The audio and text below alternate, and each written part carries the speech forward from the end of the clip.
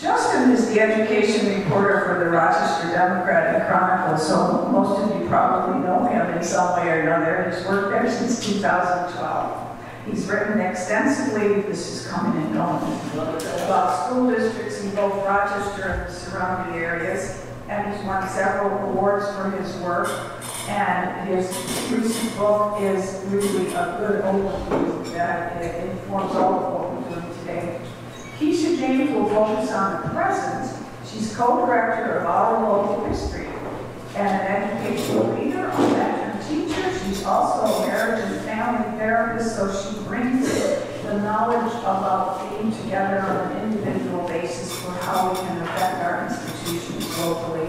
She worked for more than 15 years with children and families that were impacted by trauma. One five, one five. Yeah, one five, right. She's fueled by a core belief that every person deserves dignity, and she partners with schools and local organizations like all of us to help attain more equitable and just communities. Please join me in welcoming Justin and Kesha.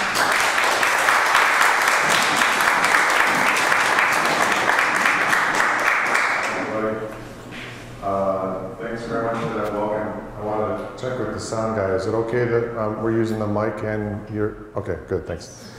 Um, Kesha and I are really honored to be here. It's, it's really striking and meaningful um, that not just one organization, but several organizations came together to, to organize this event.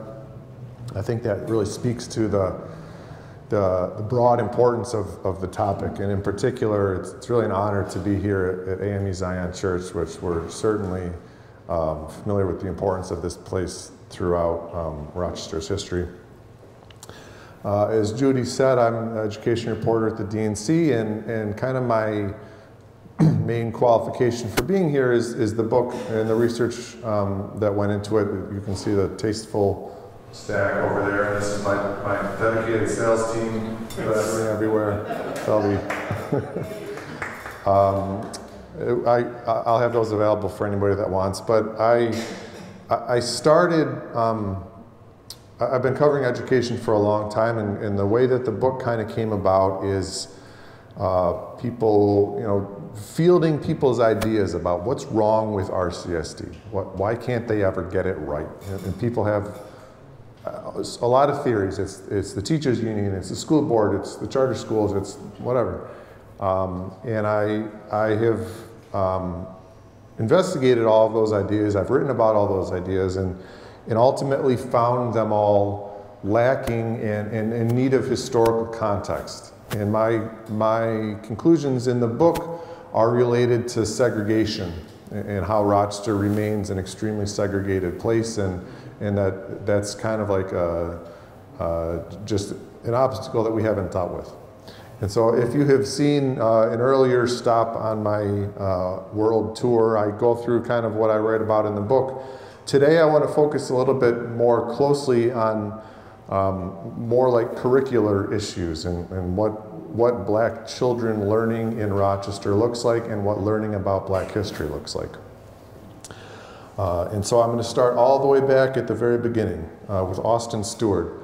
And I, I, suspect this is too small to read, so I'll, I'll read it for you. Um, uh, this is from Austin. Austin Stewart was like the first prominent black resident of Rochester. He, he uh, emancipated himself from slavery in, I think, 1816, moves to Rochester, opens up a store, uh, and here he writes in his memoir In the summer of 1818, I commenced teaching a Sabbath school for the neglected children of our oppressed race. For a while it was well attended, and I hoped to be able to benefit in some measure the poor and despised colored children. But the parents interested themselves very little in the undertaking, and it shortly came to naught. So strong was the prejudice then existing against the colored people that very few of the Negroes seemed to have any courage or ambition to rise from the abject degradation in which the estimation of the white man had placed him.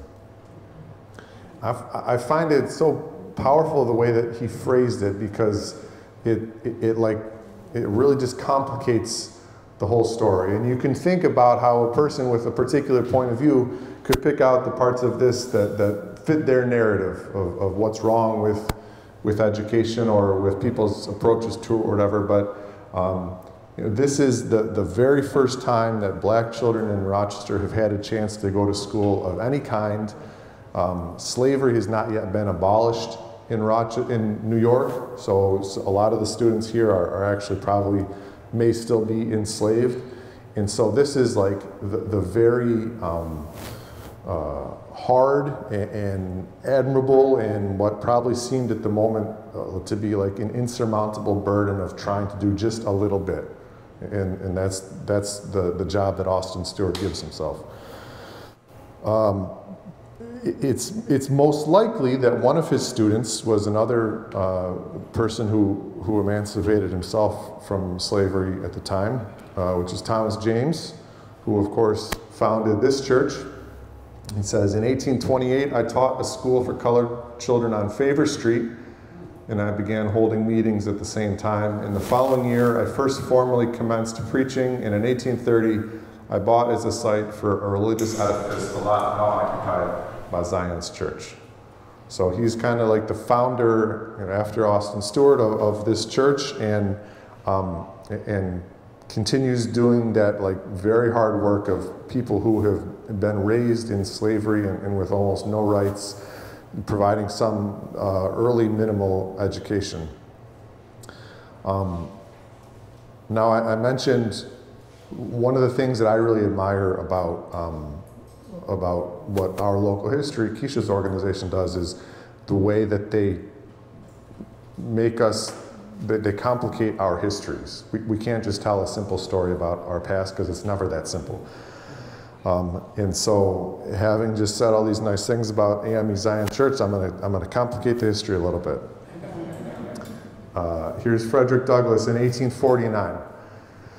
And he says there can be no reason founded in justice why they, they, black children, should be shut out of the fine, airy schoolhouses of the districts, meaning the public schools, and driven into the damp, dark, and badly ventilated cellar of Zion Church. Now, of course, he wouldn't say this if he had seen this beautiful building, but um, the, so the context, as we know, Frederick Douglass arrived in Rochester in 1847 to open the North Star, uh, and on top of that, on top of the million other things he has going on, he's raising his own kids. His, his oldest daughter, Rosetta, is, uh, I don't know, maybe eight or so at that time. Um, and so throughout the 18, the, the late 1840s and into the 1850s, he is, is trying to find an educational path for his own children in Rochester and, and finds it extremely offensive um, that the, for the most part, the educational opportunities are all segregated. Uh, the, the public schools have some separate uh, schools for black kids. There are one or two, depending on the year. Um, and the, the context for, for this statement is that throughout the 1850s, the, uh, the late 1840s and 1850s, the school district is realizing what everybody who runs a segregated uh, school system eventually realizes, which is that it's by definition like twice as expensive to run two sets of educational systems instead of just the one. Uh, and they are increasingly chafing under the burden of having to rent separate space or, or open a separate school just for the, the black kids. Um, and they're at a point here when there's been a lot of agitation against this segregated school that they're about to kind of give in and say, fine, the black kids can go to school with everybody else. When the uh, AME Zion steps in and says, well, actually, we'll rent you our basement for like a, a low price. And so they say, oh, great, that's perfect. We'll put the, the black school there. And that just drives Frederick Douglass up the wall. He says he can't believe that uh, the, the trustees would have made that decision. And so that's what he's talking about here. You may know the story of, of uh, Rosetta's education and his own experience. He seeks to send her to a private girls' school, and she's accepted, but then when she gets there, they, they in his words, as he puts it in a column that's written, that's published across the country. They, they try to put her into a separate closet and she's not allowed to sit with the other kids. And so he, you, you, there are very few worse ideas a person can have than get into a public fight with Frederick Douglass in about 1852 or so, but that's what the school chose to do, and it goes the way that you can imagine. Um, so, so this is um, like we've kind of taken a step forward from Austin Stewart and Thomas James. Like the, he, obviously Frederick Douglass himself, but the black population in Rochester has a little bit more of a footing than it did back then. Um, and we, we get this question that is going to continue to recur up until the present of kind of the wisdom of segregated versus integrated education. Because there are, there is a, a, a faction of the black community in Rochester that, that says, just like Austin Stewart pointed to, the, the white kids, the white teachers hold us in such low esteem that we would rather be in our own school. And, and of course, we hear echoes of that same argument today. So that, that's the side that Frederick Douglass comes down on. Um, so the, the segregated black school closes in 1856, and, and after that, um, black children are allowed to go to school with everybody else. Um, but it's really, it's almost 100 years, maybe 90 years before the black population really starts to grow very much. So up until 1950, even after World War II, the non-white population of Rochester is still only 2%. Um, and so what kind of develops is we have agreed that black children have a right to education, um, but there's no real uh, appreciation for the need um, to have any, anything what we would call like a culturally responsive curriculum. Um, or even to be like sensitive at all to, to their position. And so a good example of that comes almost 100 years later. This is 1951 and the NAACP writes to the school board to ask them to, to take Little Black Sambo off of the curriculum. Uh, they say um, it strengthens the conclusion among the uninformed and prejudiced that Negroes are all the same. And this type of literature is not good for human relations and democratic principles on which our society is built. Uh, and the superintendent, who I guess, his credit, says, okay, that's fine, uh, we'll take it out, but we'll, take it out if it bothers you, but honestly, I don't really see what the problem is, and everybody kind of likes it, but fine, we'll take it out. And there's like a big backlash of people saying, well, no, actually, Little Black Sambo is a really good role model for everybody, and they should be happy to read this book. And um, it, it shows the way, so there's like some more common themes here, kind of. There's black children are clearly being, at best, ignored. Like nobody, nobody's thinking about, geez, what, like, how might one feel if, if that's what you're reading in school? And at the same time, kind of like um, professing to do things in good faith. You know, like if, if challenged, we'll, we'll do what you say is the right thing to do, but it's not really like a, a pressing issue for anybody. Um, that starts to change in Rochester and elsewhere as the Great Migration moves along. Um, and again, it's kind of a question of like the, the political calculus changing. Like there's, there are more black families in Rochester, the political leadership in Rochester is, is increasing in the black community, and questions come to the forefront. Um, and so this is the first time that RCSD has anything resembling a, a curriculum uh, about or for black kids in the district. Uh, this is from 1964. It's called The Negro in American Life.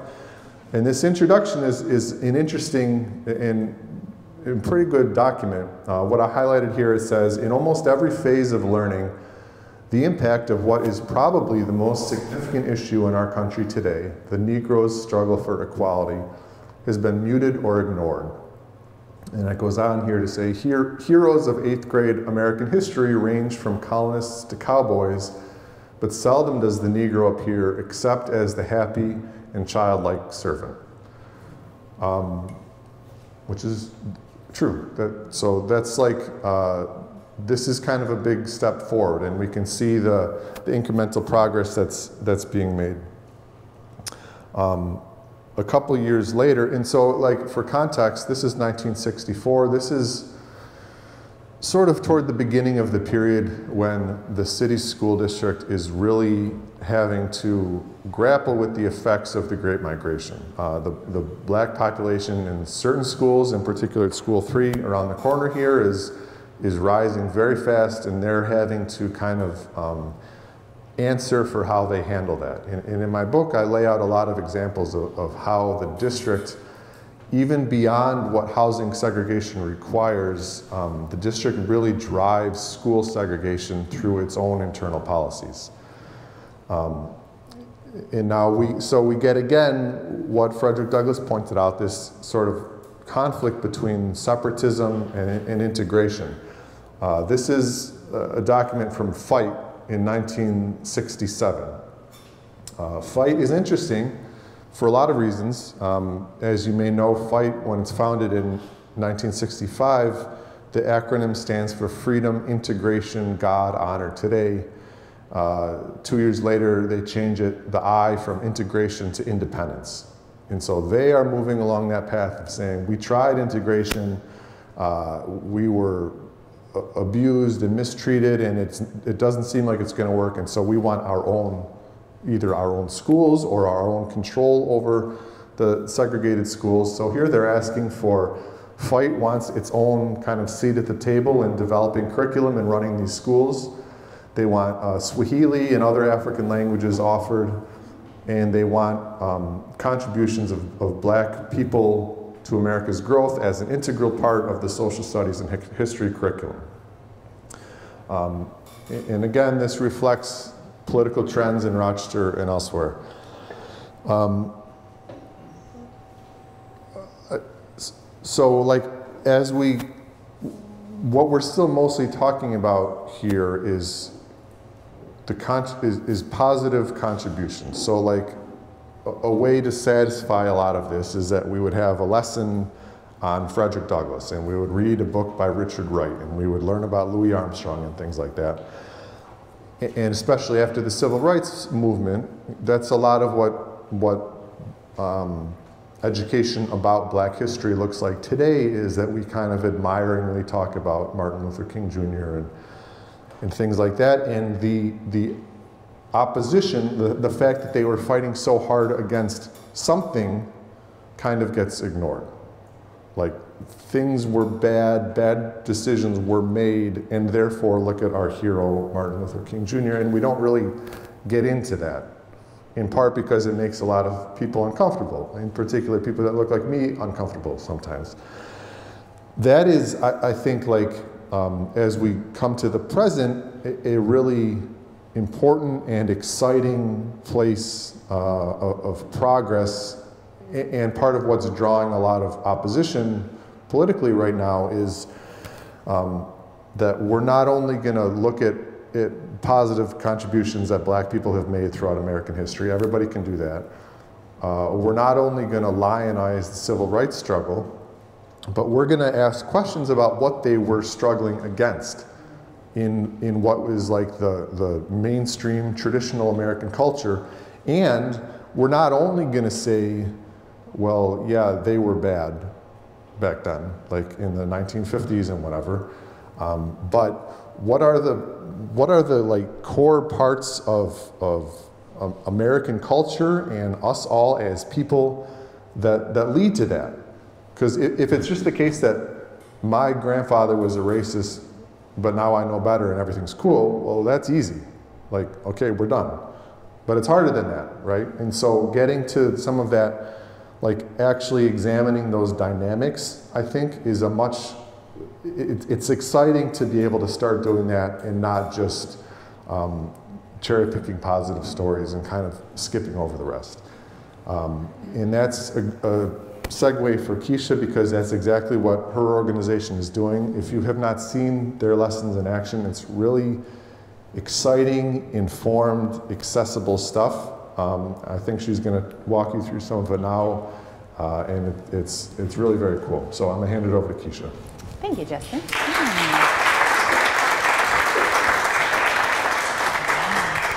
Well, thank you. That was such an important context to really think about uh, the legacy in our community, the history, how we got here. So I'm going to quickly walk through. I don't know how quickly. I'm a teacher, so I over prepped.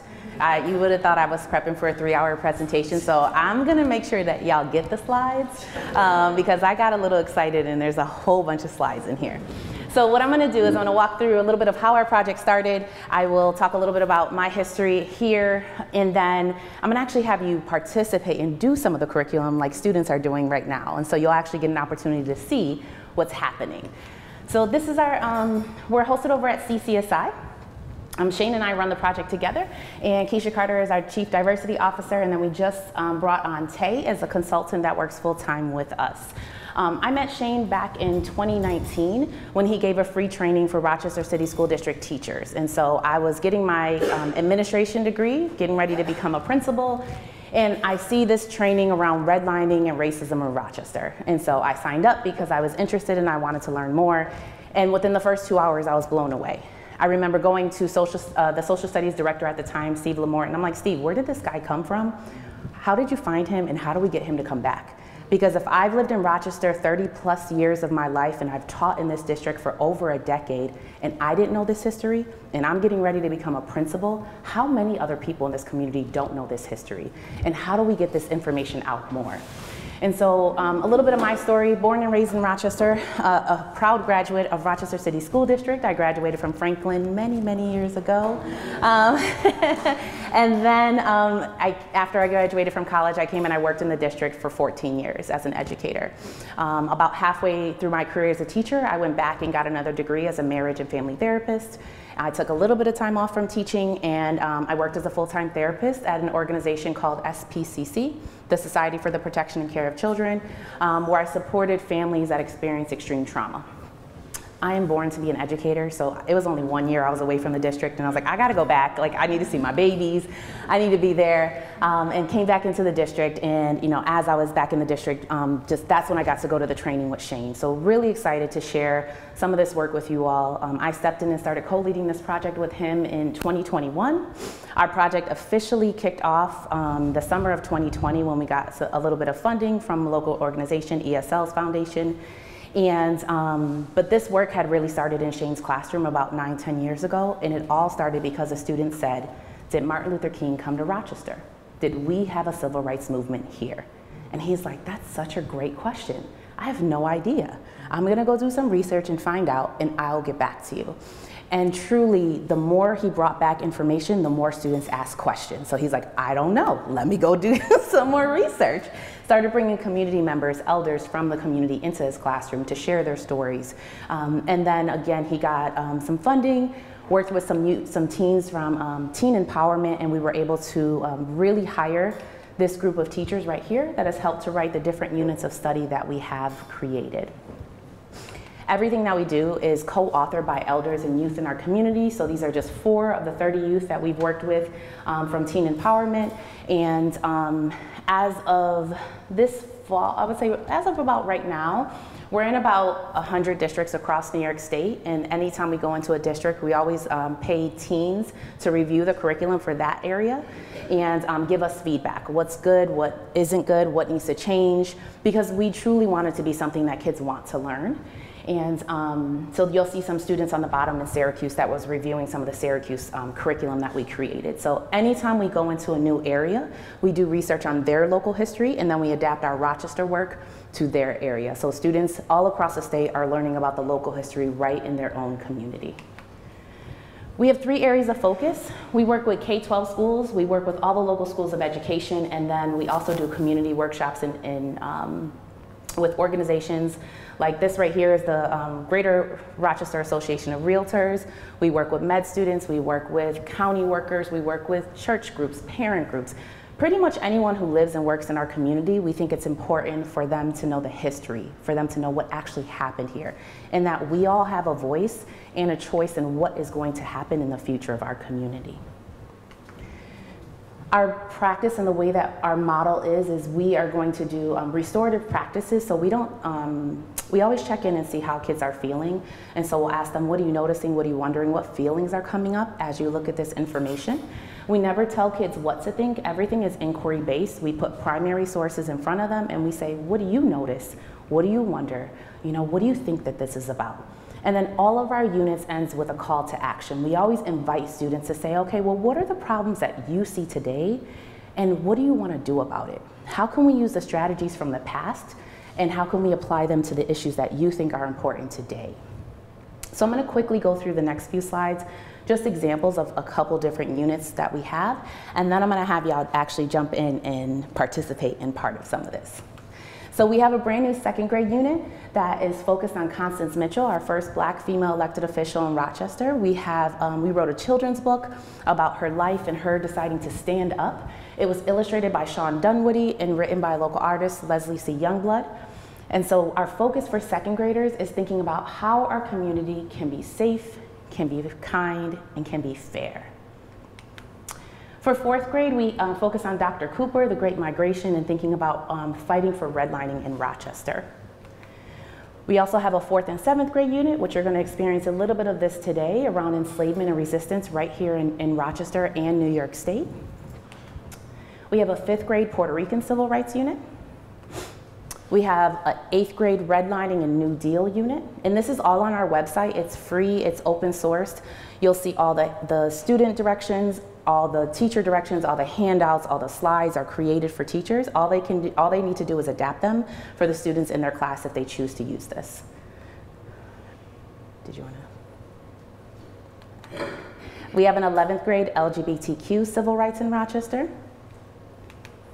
We have a 12th grade redlining and civic action in Rochester as well, connecting the past to the present. And this is our website right here. It's called resistancemapping.org. And like I said, on our website, when you click on any of the resources, you'll see there's teacher directions, there's slide decks, and there's student handouts. And they're all editable for teachers. They're free. They don't have to pay anything. There's no password. There's no gatekeeping here. Um, we know how important it is to find high quality resources as educators, and we wanted to make it as easy as possible. There's also maps on our website where students can actually click on and see where Frederick Douglass's home was, find out where the AME Zion Church is, where Austin Stewart's store was. And so they can actually look and where these places were located right within our community. Um, and we also have a documentary that's about 20 minutes long, and it um, highlights uh, local families and students in Rochester City School District around what redlining is right here in the Rochester area. Um, written by, the film was written by Justin, um, narrated by me, um, produced and directed, or directed by Carvin Eison, uh, with July 64. And so we really just wanted to find a lot of different ways to get this information out to the community. We have inquiry questions for all of our units. So what we're gonna focus on is really thinking how has racism impacted Greater Rochester and then how have people responded and resisted it? So those two, those two pieces, how do people fight for and against? And then this inquiry question today I want you to just notice is what do you notice about how our local histories approach builds common ground, fosters meaningful dialogue, and empowers participants to participate in anti-racist civic action. Anytime we do trainings, we always start with group norms of just how do we want to have conversations today. We always open it up to folks and say, well, you know, do these norms work for you? Can you speak your truth? Can you use I statements? You know, can you just expect to experience discomfort? Can we respect that everybody's in a different place when it comes to learning about this?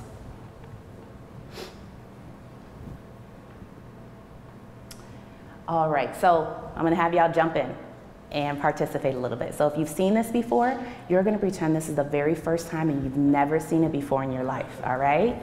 And so I want you to think in your head. You don't have to write it down, you don't have to share it. When you hear the word Africa, what's a word, thought, or phrase that pops in your head? So don't share it, just think about it. Does everybody have something? All right, awesome. We're gonna come back to this. With students, we have them notice and wonder this beautiful map of Africa. We give them information that Africa is the second largest continent, that all these different countries could fit on the continent of Africa. That's how large it is. most of Europe, the United States, China, India.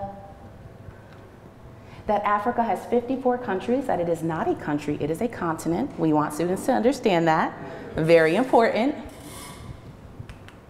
And that oftentimes on maps and globes, Africa is depicted much smaller than it actually is. So we wanted to show a more accurate depiction of how large the continent actually is. All right, so here's the good part. So we're gonna do what's called a mystery source. We do, it's, uh, we take an image, we break it up into four parts, and I'm slowly gonna show you piece by piece. I'm not gonna tell you what you're looking at. I'm not gonna tell you if you're right or wrong. I just want you to notice and wonder. So as I get ready to, to go to the next slide, keep these three questions in mind. What are you noticing? What do you wonder? And what inferences or what are you learning about Africa when you look at this? It can be as simple as a color, a shape, a letter, it doesn't matter. Y'all ready? Okay, so take 30 seconds and just take a look at this. What are you noticing? What are you wondering?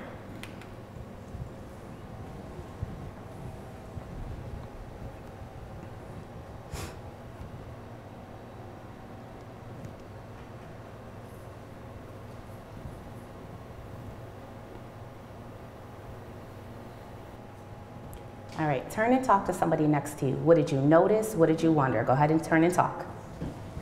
You got the people behind you if you want to partner.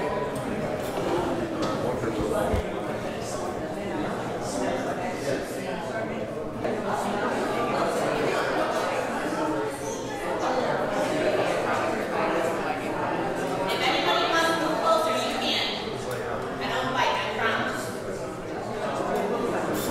All right, so I'd love to hear from a couple folks. Let's bring it back together. Let's come back together in three, in two. Ooh, y'all are good. And one. So love to hear from a couple folks. What did you notice? What did you wonder? Or maybe what's something your neighbor noticed or wondered? Yeah. What I really noticed at first was the, the can, like the can on the right side. This? Yeah. Uh-huh. Second thing is those red lines. Yeah. What do these red lines mean, right? Noticing this can or this structure thing here. I love that. I love that. Who else? What's something y'all noticed or wondered?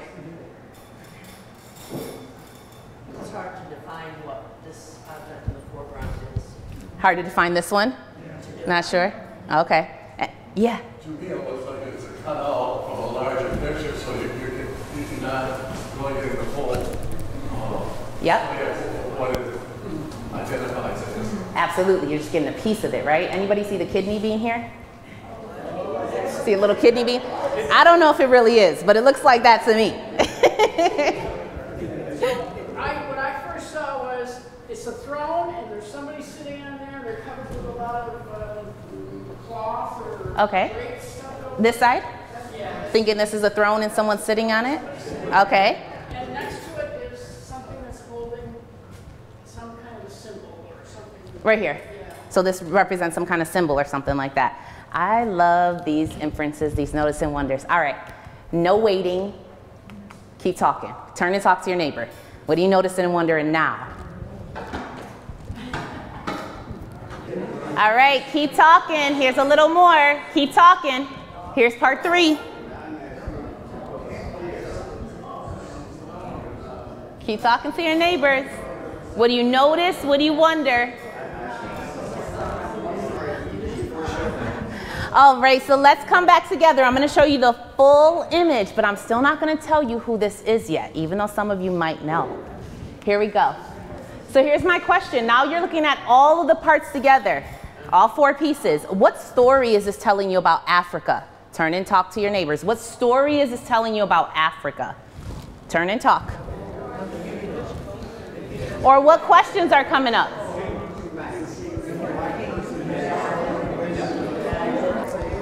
All right. So I'm going through this a little faster than I normally would. I would get normally give y'all much more time to chat, but I'd love to hear from a couple folks. What did you what story do you think this is telling us about Africa or what questions are coming up for you? Yeah. I think it talks about rich history. Yeah, so richness, I'm, I'm seeing the, the gold crown is making me think of that, and whatever he's holding in his hand. Mm-hmm. Independence. Oh, independence. What else? Oh, maybe is he like the center of knowledge because he's right there in the center of things? Yeah, I like that. I like that. Intelligence. Is there a map behind him? I like that, right? So are we really looking at the whole image or is there more? I'm noticing he's how much larger he is than everything else. Right? So think it make, it's making me think he might be important. He's a king, right? So we're noticing the crown on his head, the scepter that he's holding. He's got a pretty full belly right here, you know, eating good. Makes me wonder if there's a, what his role in leadership maybe Yeah, what's his role? Thinking about the leadership, thinking about, you know, what we know about this time. Let's take a look at a little bit more. So this one is, this is the Catalan Atlas from 1375. And we've got a little arrow, but this is our mystery man right here that we were just looking at. And we just kind of zoomed into this part, but I also want you to notice the gold route above our mystery man. So this is Emperor Mansa Musa, the richest man to ever live. Um, if what we tell students is imagine the richest person that you know at a couple hundred billion dollars, and you have somewhere close to the amount of wealth that Mansa Musa had. Um, he actually took a pilgrimage to Mecca, that's that gold route, and he gave out so much gold that it caused inflation across the entire world at this point. Yep, so thinking about this piece of it. With, with, students, we have them guess how much larger the Mali Empire is than what New York State is today. Anybody have a guess? Throw a number out. What you think? Four times. Four times? 20. 20? Anyone else? All right. So we got, so it was actually, it's actually nine times larger than what New York State is today. The Mali Empire was at its peak. And then with students, we show them this, um, there's a, a, short TEDx video, so it's like a video to give them a little bit more background knowledge around who Mansa Musa was, that he built mosques, that he built libraries, that he built some of the largest universities. This is actually a mosque right here. This is a building. Mm -hmm. So is the language Arabic? I'm not sure because the Catalan Atlas is Spanish. So um, whoever created that atlas was Spanish. So I don't know if it's actually Arabic or that's a really good question though. Um, and then with students, we go a little bit deeper. So we have them partner up and we have them do this three to one partner activity where they work with a partner and they write down three things they notice, two things they wonder, and then an inference of something they can learn about Africa. And so I'll just kind of show you a couple of the images here.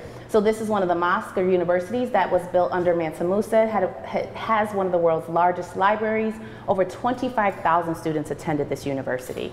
And then we always pair it with the geographic reasoning to show students where it was located on the continent of Africa, because we want them to understand, you know, that geographic location. Got a couple more. So the High Atlas Mountains, this is like my, this is my favorite picture this whole day. It's just gorgeous, beautiful mountains. Even thinking about some dye pits or medieval cities or current day cities like Johannesburg, South Africa. And I didn't put all of the pictures in here, I just gave you a few so you can see, but on our website, all the pictures are there. And then we close this day with students where we say, well, when you hear the word Africa now, what's a word, thought, or phrase that pops in your head? We hope that they're gonna talk about richness, about beauty, about kings. We also have a queen with that zoom in, zoom out. We also have a queen that they can also um, do that activity with as well. Um, so we really wanted to make sure we were starting with an asset-based approach. Um, I don't know about your experience, but for me as a student in Rochester City Schools, when it was February, every single year from kindergarten to 12th grade, Frederick Douglass, Martin Luther King, Rosa Parks, and Harriet Tubman.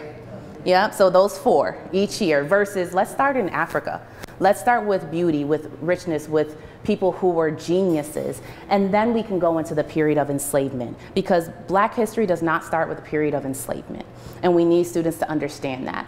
So I went to a training at UB and the facilitator, he said something that I will never forget. He said, you never start a people's story at their lowest point, right? And how often does that happen with our education? You never start a people's story at their lowest point. And so, how do we again start with this beauty, this richness, this diversity, and then we'll go into what happened right here in our community? So, that was very intentional on our end when we put this unit together to start here, and then we'll get to what happened when people got on um, this soil, and specifically right here in um, New York State. So, I'm going to really quickly go through what the next day would look like with students.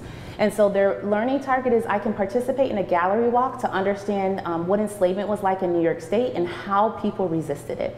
And so um, we start with some vocabulary terms to consider. We shift from the word slave to enslaved person. No one chose to become a slave, it was something done to you. So our definition to consider is individuals forced to work for no pay and without freedom. And then we always pair it with local examples. So Austin Stewart, that you learned a little bit about earlier, how he was forced to work for no pay, but also like thinking about the fact that yes, he was enslaved and then he became Rochester's first black business owner. Right? So we want to think about that.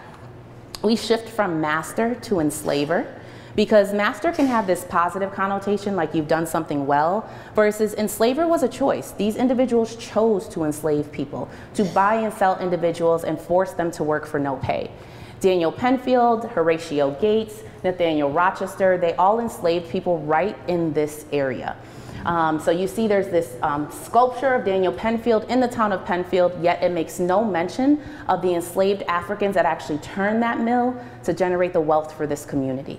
And so we have to talk about the legacy here. Henrietta was also an enslaver. She enslaved over 250 people in the Caribbean. Um, Mount Morris, we have tons of areas around this, this um, state that are named after people who enslaved other people. And then thinking about, instead of runaway, freedom seeker. And so thinking about, you know, someone who risked their lives to escape from enslavement. So like you heard about Thomas James, him, um, he was enslaved in Canajoharie, New York. He ends up seeking his freedom. He goes to Canada and then comes back here and like you heard, helped to start the AME Zion churches. And then not just in Rochester though, but across the state. So he worked with folks in Lockport, in the Syracuse area, and the Ithaca area. In each of these AME Zion churches were spots on the Underground Railroad.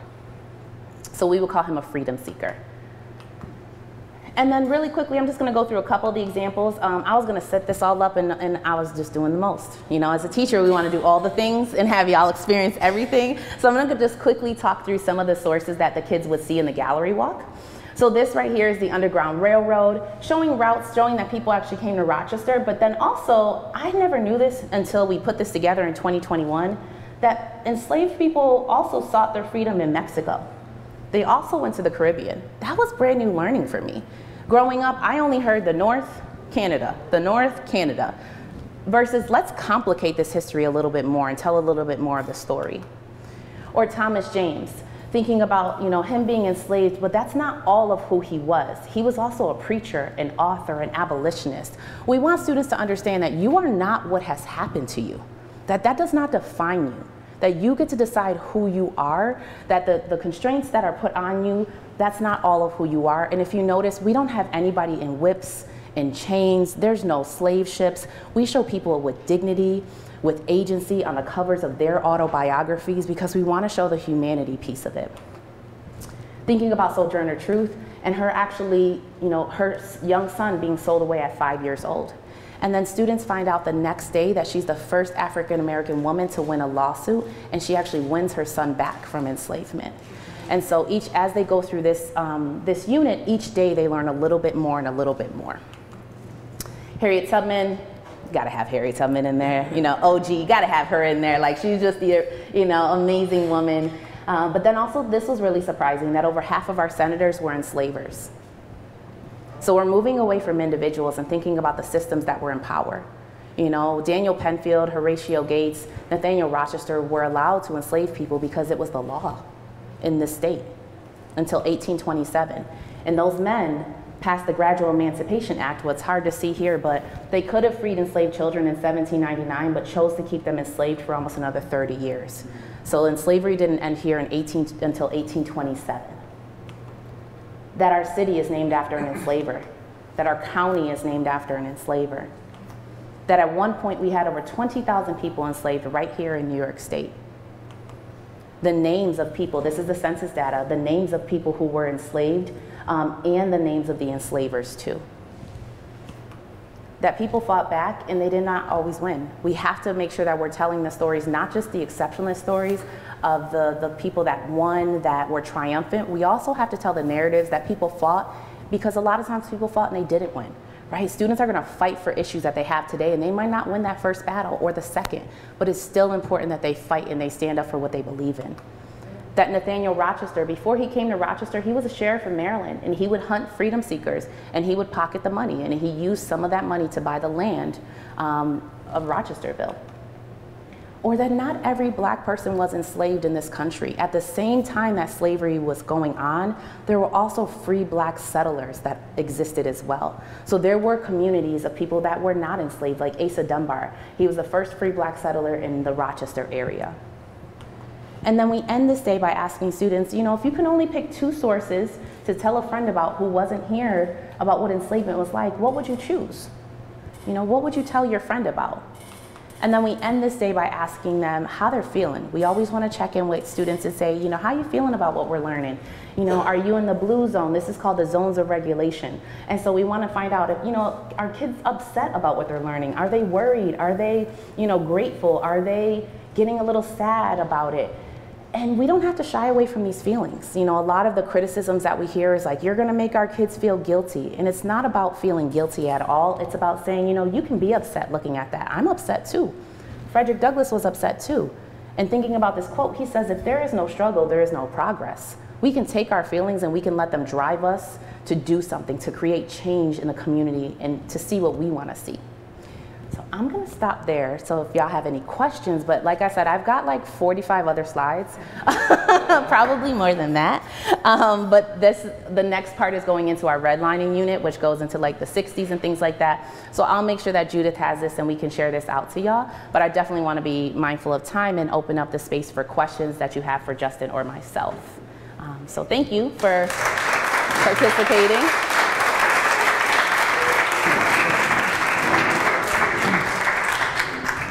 So yeah, we'd love to open it up. Any questions that folks have? I have something I want to say before um, we go. I want to introduce the AKWAABA as part of the uh, partnership. Oh, sorry. Part of the partnership that the 1816 Meeting House and AKWAABA and the Frederick Douglass family are doing involves first-person interpretation by AKWAABA people who will come to your own classroom. And I'd like to introduce, let's see, uh, Harriet Tubman.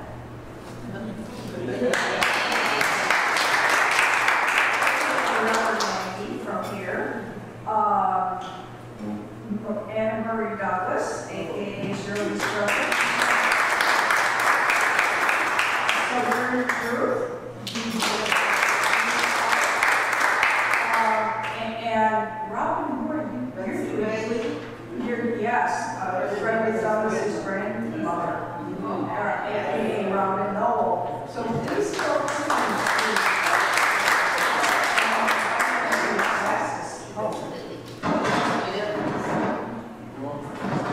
This mic is real noisy, so if you don't want to holler out a question, you can repeat it for Yep.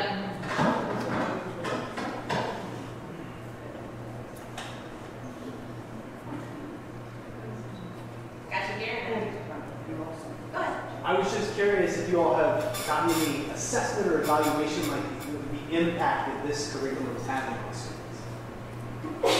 Yes. For the last three years, bless you, for the last three years, we partnered with University of Rochester and they've done our evaluation. So I can also share that with Judy um, as well. We are um, getting we have a, a, new evaluator that we're just getting in the data from this past school year, but for the last three years, we absolutely have that. Um, the impact in last year, our focus was about going into, I think we went into 20 different classrooms across the community to really see how students were interpreting that. So that's in our year three evaluation, so I'll make sure that we share that with you all as well. But overwhelmingly positive responses. Um, if you notice like how engaged y'all are, we're talking and turning exactly what happens in the classroom with students. And um, this, what we're hearing from teachers is that the students are, especially students after they go through the enslavement unit, are like, I want to go to Africa. Like, like I had this. This is like students out in Pittsburgh fourth graders that learned it and they were like, we want to go to Africa. Like, we want to see these things. And I was like, that is so awesome. Even like some students at Wheatland Chi they were quizzing me. Like, I, I came into their class to talk about this. They're like, well, did you know this, this, this, and this? We learned about Africa. And I was like, no, tell me more. I put the unit together, but I don't know. Eh, Tell me more because they were so excited about it. Um, so, little off track, but yes, we do have evaluations and we'll make sure you have that. I want to know how deeply does the curriculum, how long does the curriculum go? Is it go to present day? Um, so we have most of our units of study are five days long, and so um, and they all align. If you notice, we don't have something for every single grade level right now because we intentionally choose um, units that fit within the social studies and the ELA standards for New York State. Because um, nowhere in the state can they mandate curriculum. Um, districts, individual districts get to choose, and so, but they all have to align with New York State standards. So what we did was we chose standards so that students, so teachers didn't have to say, well, I don't have time to teach that, or that doesn't fit in. This actually is something you're supposed to be teaching in this grade level, and now you have exemplar units that you can use. Um, so, so most of them are five days, a couple of them are three days long. The community.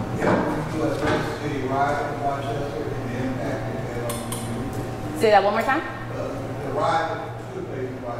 So that's the next part that I didn't get a chance to get into. That's our redlining unit. So we talk about the, um, got some slides here. I told you I have way too many slides. It's in here. We talk about it in redlining. Um, but yes, we do touch on that in um, eighth and 12th grade. hmm Yes. What is your success in spreading this out to the communities? So right now, there's only two suburban communities that don't work with us out of the 21 complete districts. So um, it, we're pretty overwhelmingly, some schools, um, it's mandated that this curriculum is being taught. Um, other schools, we've just had just maybe initial engagements with them, but there's literally just one school that we have not been able to connect with. Um, but most other schools have us come in, we offer free trainings and things like that. Mm-hmm. Yep.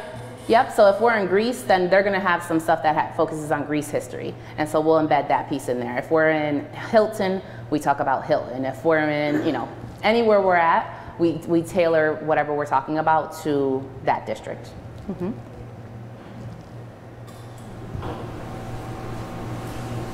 Do you have pushback on curriculum from families? Um, we did. So I would say in 2020, uh, we got quite a bit of pushback. A lot of, um, probably saw the school board meetings, 2020 into 2021 school year. Um, the school board meeting fights and all those things, that, that was our curriculum they were fighting over. Um, and what we realized is that people will make assumptions versus um, sitting down and actually experiencing it. And once we actually have people go through it, they're like, oh, so you're not telling my kid what to think. You're not saying my kid is bad because they're white. You're not making shaming my kid. Like you're literally asking them what are they noticing? What are they wondering? What questions are coming up? And that usually like squashes any kind of issues or pushback. Um, I would say the second year, so 2021 into 2022 school year, teachers started self-censoring because they were afraid of being like blasted on social media or things like that. And so it's just, we had to encourage teachers and just remind them like you are professionals and most of them with master's degrees because it's mandated in New York State to get a master's degree. Um, you know what you're doing and we have to do what's best for all children. I know the focus today has been on black children, but this curriculum is for every single child in our community because every single child is going to grow up and they're going to be a global citizen. So we need to prepare them to learn about people who are different than them. So that's been a thing, like in the rural areas, sometimes they're like, well, we don't have black and brown kids here, so we don't need, like, no, no, no, no, no. You still need, because this is not black history, this is New York State history. So all kids need to learn this history. It's New York State history. What is the best way for you to get engaged or uh, discover what uh, the 1816 primary Quaker Meeting House Museum historical main res- researcher myself. That's a lot of material that just like see what you have up there and say, I think you could blow, blow you away. Yeah. So I'll give you my card afterwards, um, and then you can absolutely reach out to us because we're always um, bringing in more research and thinking about right now. Um, We're a very small team. There's three of us on our team that do this full time. And so we're starting to grow our team. And so we'll have a, a couple more folks that'll be added onto our team soon. And so we'll have the capacity to do a little bit more research and things like that. Some of this is visual material. Absolutely. Oh, yes. Yes, we absolutely would love to have that. Out of it. Yes, please. I'll give you my card before we leave. Um, So there's a small team of three of you. Uh-huh. So I'm assuming that you train, you train the teachers who will deliver this Yes. curriculum. Yep. In the city of Rochester, is this curriculum available or been used in all the schools? Um, no, each school is different. Some schools are going a lot deeper than other schools, um, especially with the reconfiguration right now of like so many schools closing this year and opening. Um, but we do have, with specific schools, we have individual contracts for the entire year. Um, there are some principals that are like, I want to go deeper with this. Like, this is great, but I need more. And so they've actually contracted with us to, to go to their grade level meetings to coach their teachers and things like that. So the other part of the work is not just us delivering professional development, we also do coaching um, and capacity building as well. Are- are- Has there been any interest expressed outside of the state of New York in in what you're doing? Um, I want to say yes. Our goal is to eventually move across the, the country. That is the goal. Um, but we are we need to get some big funding to be able to hire a, a robust team of folks that can actually, at the level that we do this work, because one of the feed the pieces of feedback we get is our approach and how we do this, and so to be able to hire um, and provide high quality professional development, but also high quality coaching has been really important. So it's finding the right people that are in the right place in their life to be able to step into this role and do this work. But yes, that is our plan eventually. Um, we want to get through New York State first. Um, and then we're starting to move into the New York City area very slowly. It's a huge, that's a huge area. So we're slowly starting to move downstate, um, but really thinking about how we're um, deepening our work here in Rochester and then also Buffalo and Syracuse. So we've been doing quite a bit of work in Syracuse the last couple years, and we just moved into Buffalo last year.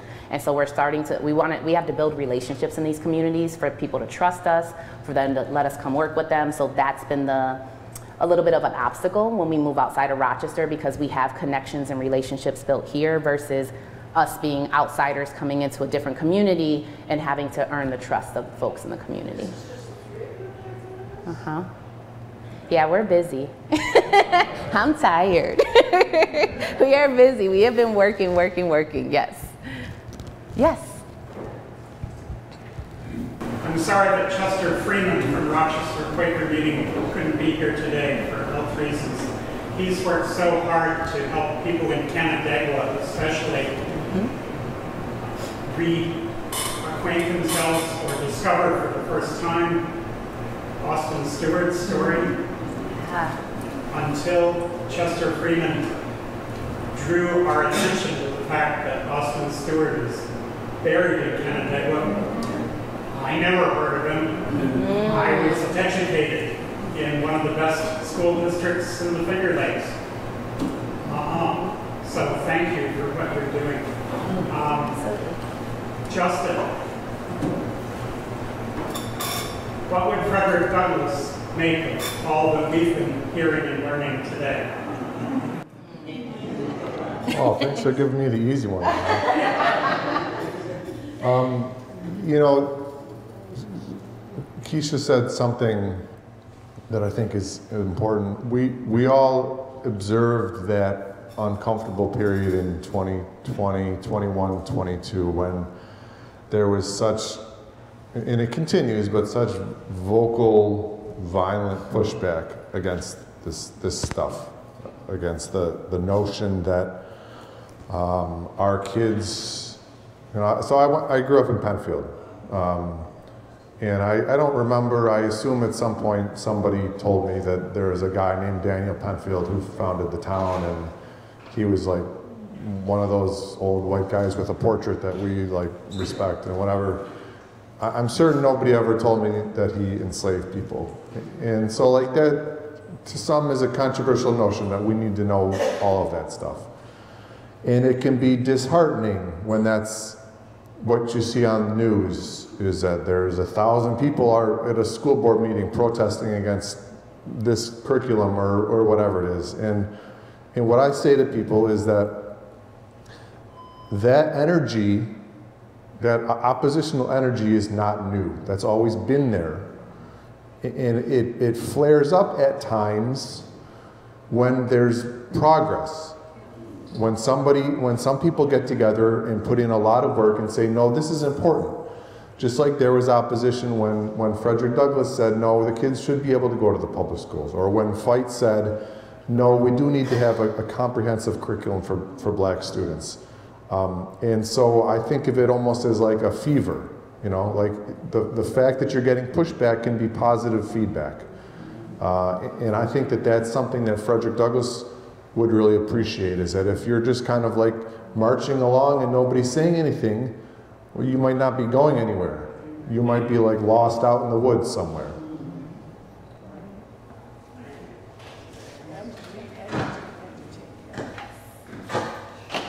Um, One more, maybe final comment. Uh, When Frederick Douglass escaped, uh, he, I'm sorry, when Austin Stewart escaped from slavery, he came right to Farmington, and he lived with the Comstock family for about three years. We think he actually helped build the 1816 meeting house. And if you want to read something that's dynamite, it's online.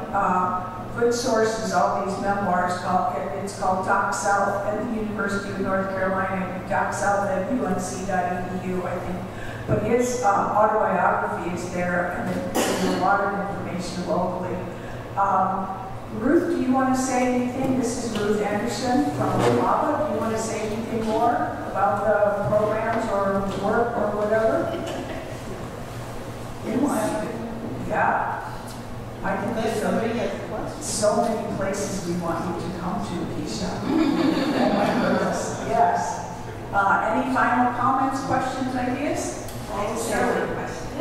I know that before you. uh, Stella. Yeah, so, um, I know that when you uh, present your curriculum, you have to go in front of the school board. Are the unions involved in making the city with that district?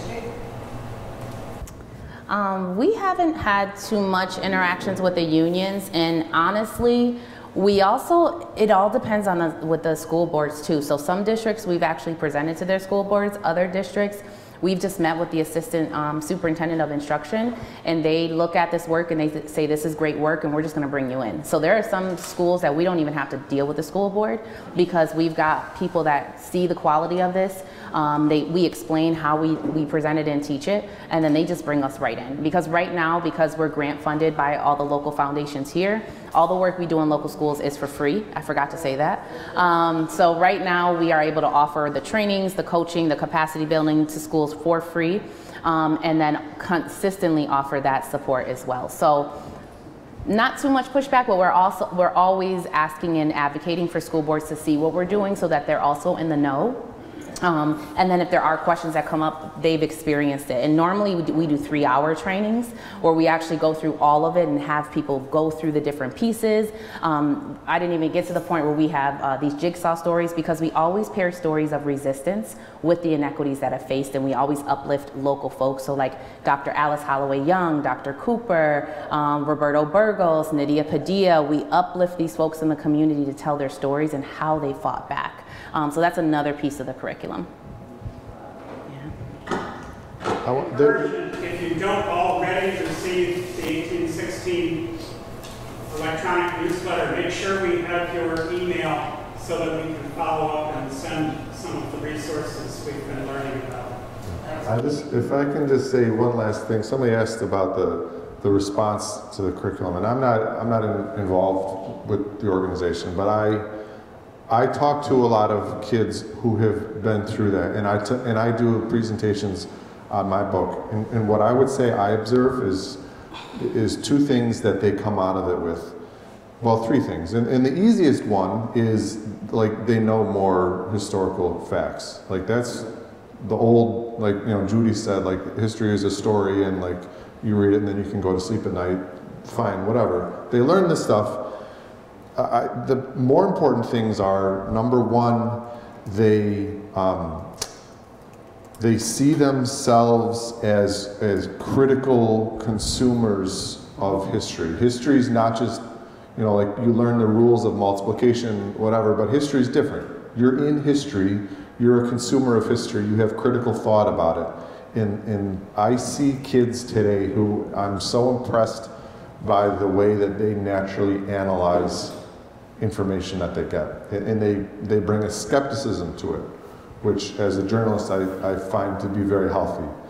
Um, and the second thing is that they see agency for themselves. History is not just the story and then it's done. Again, they're in history.